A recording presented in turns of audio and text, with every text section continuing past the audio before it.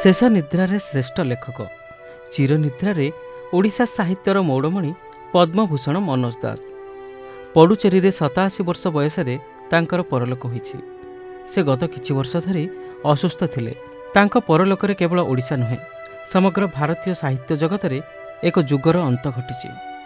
ଉଣେଇଶହ ଚଉତିରିଶ ମସିହା ଫେବୃଆରୀ ସତେଇଶ ବାଲେଶ୍ୱର ଜିଲ୍ଲାର ଶଙ୍ଖାରୀ ଗ୍ରାମରେ ଜନ୍ମଗ୍ରହଣ କରିଥିବା ମନୋଜ ଦାସ ଓଡ଼ିଶାର ଜନମାନସରେ କୌଣସି ପରିଚୟର ଅପେକ୍ଷା ରଖନ୍ତି ନାହିଁ।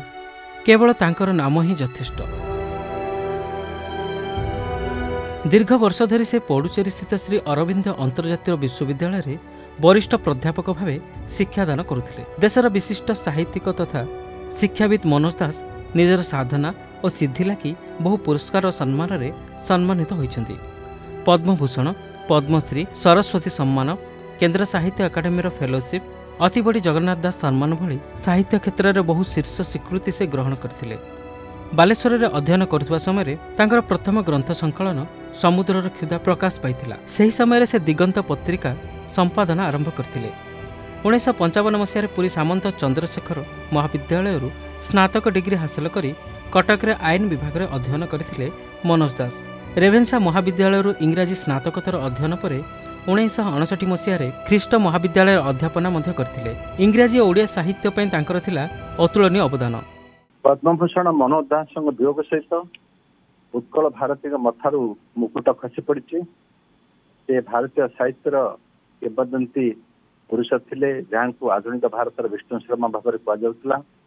ଉଭୟ ଇଂରେଜୀ ଏବଂ ଓଡ଼ିଆ ଉଭୟ ପ୍ରବୀଣ ଏବଂ ତରୁଣ ଏବଂ ଉଭୟ ସାମ୍ୟବାଦୀ ଠାରୁ ଆରମ୍ଭ କରି ପୁଣି ଶ୍ରୀଅରବିନ୍ଦ ଦର୍ଶନ ଭାଷ୍ୟକାର ଭାବରେ ମନୋଜ ଦାସଙ୍କ ସାହିତ୍ୟ ଖଣ୍ଡନ ଯୋଉ ବିସ୍ତୃତି ଯୋଉ ଗଭୀରତା ଥିଲା ତାହା ଆଉ କେଉଁଠାରେ ଆମେ ପାଉନା।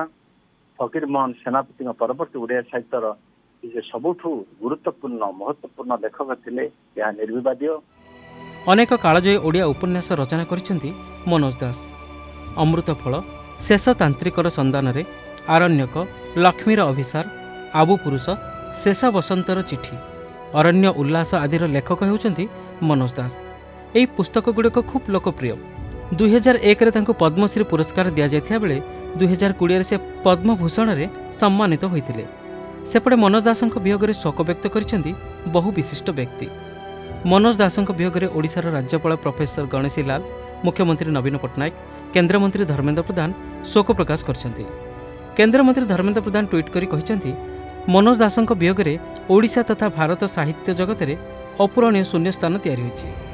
ଶ୍ରୀ ଦାସଙ୍କ ପରିବାର ସଦସ୍ୟା ଡାକ୍ତର ରଞ୍ଜିତା ଦାସଙ୍କ ସହ ଫୋନ୍ରେ କଥା ହୋଇ ଗଭୀର ସମବେଦନା ଜଣାଇବା ସହ ଅମର ଆତ୍ମାର ସଦ୍ଗତି କାମନା କରିଛନ୍ତି କେନ୍ଦ୍ରମନ୍ତ୍ରୀ ଧର୍ମେନ୍ଦ୍ର ପ୍ରଧାନ।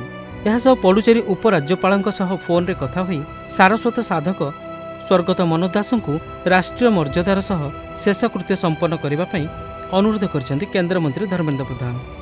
Bureau report Argus news.